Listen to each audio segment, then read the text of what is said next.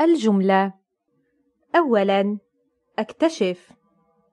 أولاً أقرأ ما يأتي ثم أضع العلامة التالية في الخانة المناسبة.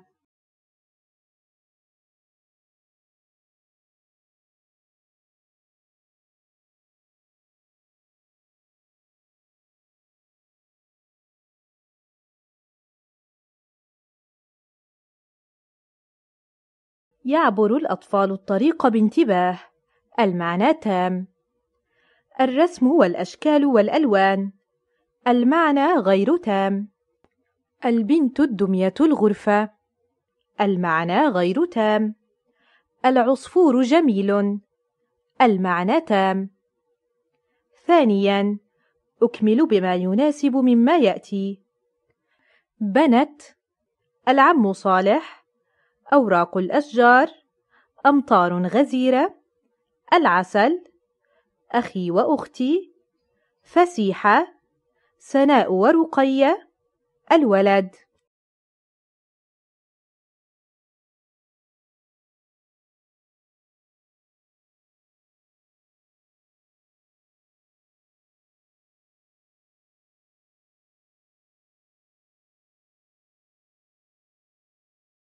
غادر العم صالح البيت. العسل غذاء نافع. بنت العصفورة عشا. ساحة المدرسة فسيحة. تساقطت أوراق الأشجار. سناء ورقية في البستان. تهاطلت أمطار غزيرة. أخي وأختي مجتهدان. يمارس الولد الرياضة.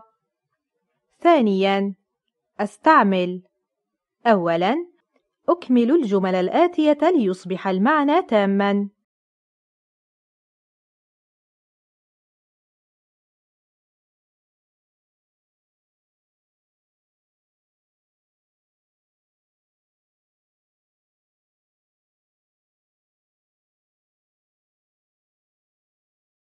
تناول الرضيع حليبًا. طيور جميلة في حديقة الحيوانات.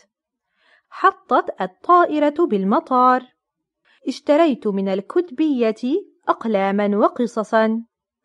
الجد صالح شيخ وقور. ثانيا أكمل ما يأتي بما يناسب لأحصل على نص.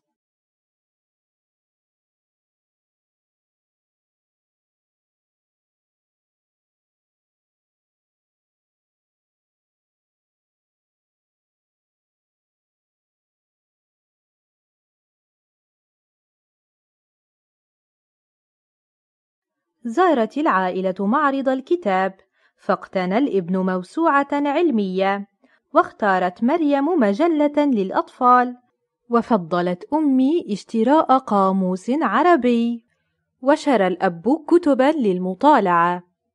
ثالثا أوظف أتأمل المشهدين وأعبر عن كل واحد بجملة.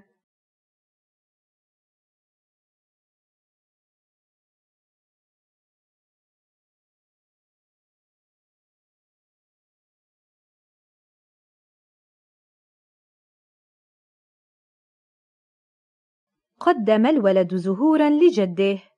قبل الطفل جده بحرارة.